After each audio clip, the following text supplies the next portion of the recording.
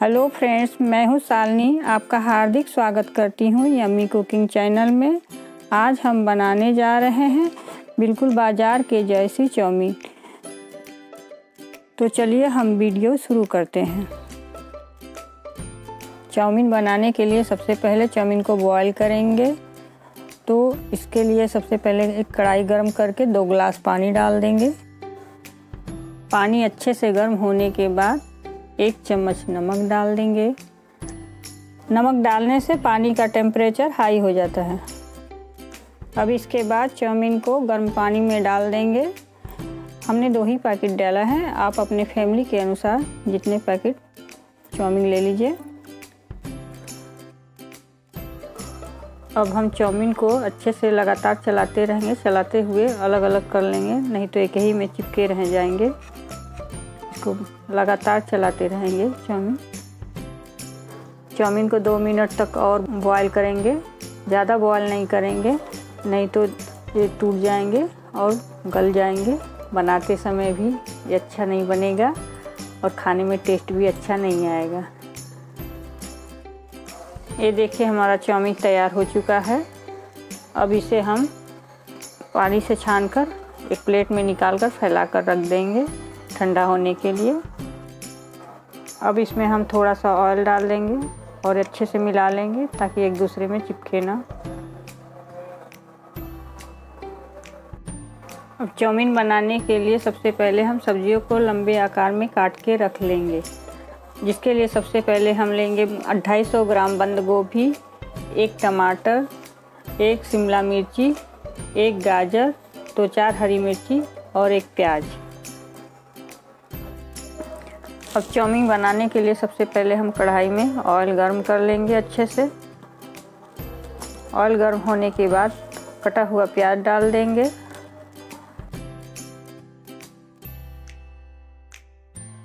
अब हरी मिर्ची डाल देंगे और दोनों को अच्छे से चलाते रहेंगे। प्याज का कलर चेंज होने तक इसे कुछ देर तक फ्राई करते रहेंगे।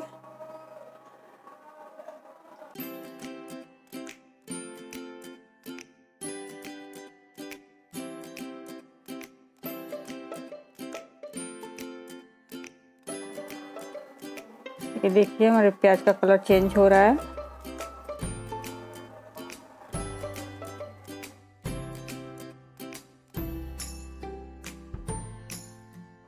प्याज को हल्का गुलाबी होने तक फ्राई कर लेंगे। प्याज अच्छे से फ्राई हो जाए।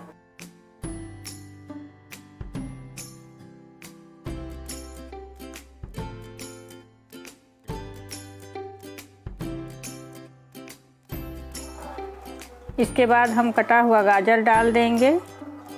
गाजर डालने के बाद तीनों को हम अच्छे से फ्राई कर लेंगे। उसे कुछ टाइम तक फ्राई करते रहेंगे, जब तक गाजर का कच्चापन कम ना हो जाए। दो मिनट तक पका लेंगे गाजर को।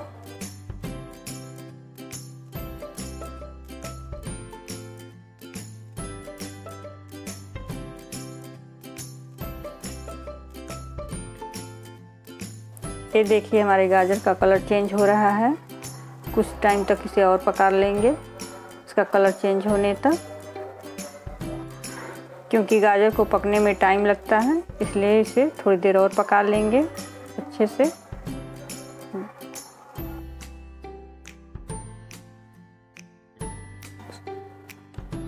उसके बाद हम बंद गोभी डाल देंगे, कटे हुए। थोड़े थोड़े करके सारे डाल देंगे बंद गोभी। और सभी चीज़ों को अच्छे से मिक्स कर लेंगे। अच्छे से पकने के लिए इसे दो मिनट तक और पका लेंगे।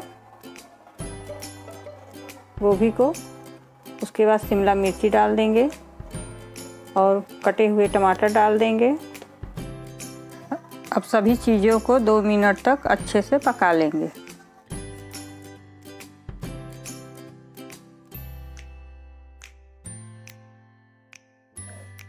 इसके बाद हमने थोड़ा सा हरा मटर डाल दिया है। अगर आपको पसंद हो तो डाल सकते हैं, नहीं तो आप स्किप कर सकते हैं।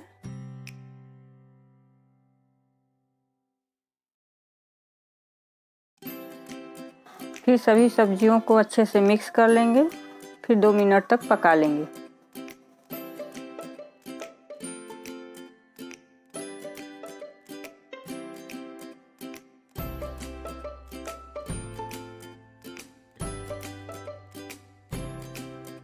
सभी चीज़ों को हाई फ्लेम पे लगातार चलाते रहेंगे दो मिनट तक।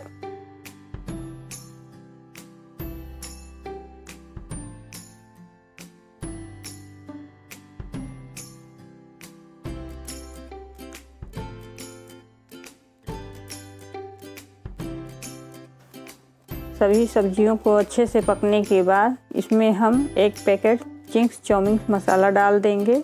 इससे स्वाद और ज़्यादा बढ़ जाता है।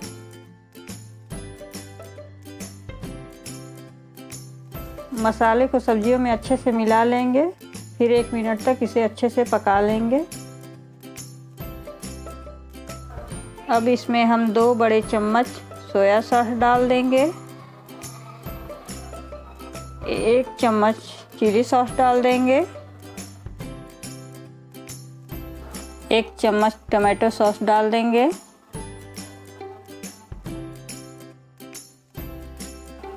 फिर स्वाद अनुसार नमक डाल देंगे।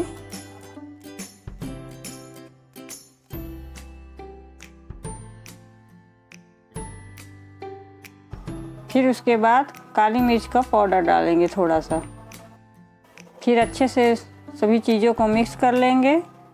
अच्छे से पका लेंगे। फिर बॉयल किया हुआ चाउमीन उसमें डाल देंगे। डालने के बाद फिर अच्छे से चाउमीन को हम चला लेंगे। एक चम्मच से चलाने में थोड़ी प्रॉब्लम होगी, इसलिए हम दो चम्मच का हेल्प ले लेंगे।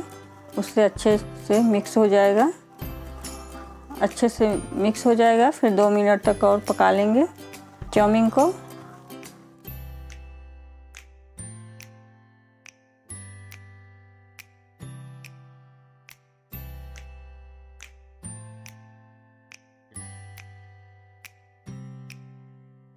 अब हम हाई फ्लेम पे सभी चीज़ों को अच्छे से मिक्स कर लेंगे। ये देखिए सारी चीज़ें कितने अच्छे से मिक्स हो चुकी हैं।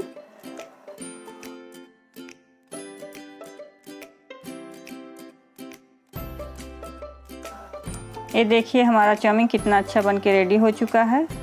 अब इसे हम गर्मा गर्म एक प्लेट में निकाल कर सर्व कर लेंगे।